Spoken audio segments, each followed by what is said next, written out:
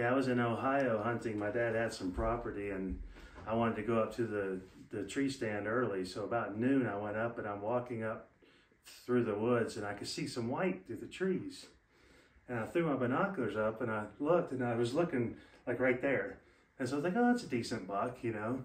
And then it was like this genuine double take, like, wait a minute, something's different, you know. And he went running off through the trees, and I was like, oh man, because I just had a bow. There's no way I could have got a shot at him. So I got up in the tree and I was there, and probably four hours later, he comes walking through the trees, and I can see him like 70, 80 yards down through the trees, and he stops and he walks away the same direction he came from. And I'm like, ah. And then probably another hour later, it's getting close to dark. Here he comes again on the same path. And he gets within about 40 yards of me, but he's behind the trees and I can't get a shot. And he walks off.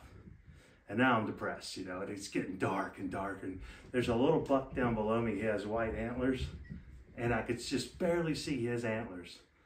And so I, I got, I was taking my arrow out of my bow and I looked back down and there he stood. And with all the white, I could make him out.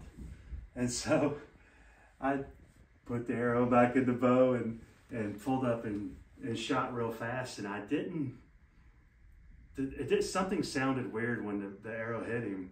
But he jumped and took off, and I saw he ran past this huge old tree that had big, real shaggy white bark on it. So I knew he went right past there.